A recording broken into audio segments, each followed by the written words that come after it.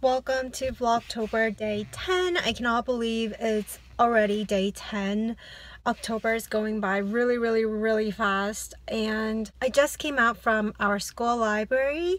Um, I had to do some school stuff, so I came here and I did it. And now I think I'm gonna go to Daiso and try to find um, a swim bag. I want to buy a bag that's suitable for going to the pool.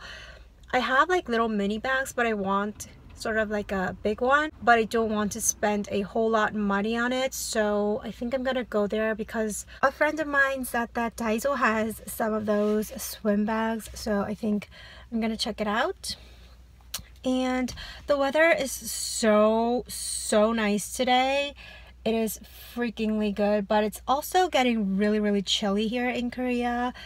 Yesterday it wasn't this chilly, but today the air is really crisp and I can feel that winter is gonna come really, really soon.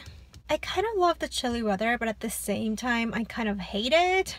I'm not really a winter person. I get cold really, really easily. So yeah, and I think I'm gonna go to Daiso and I will update you guys.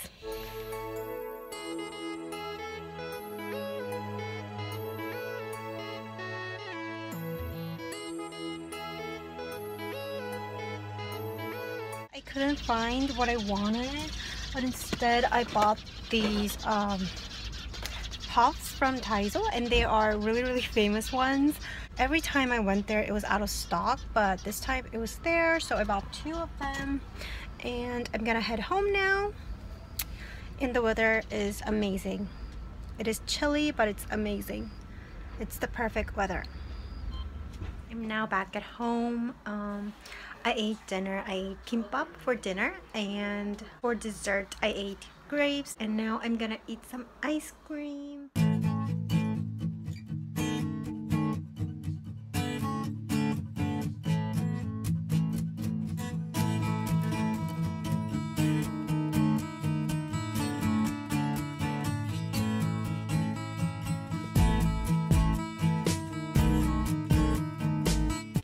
guys, it's October day 11 and did I tell you guys that I was rotating otolaryngology this week? I think I didn't and I will try to vlog more today.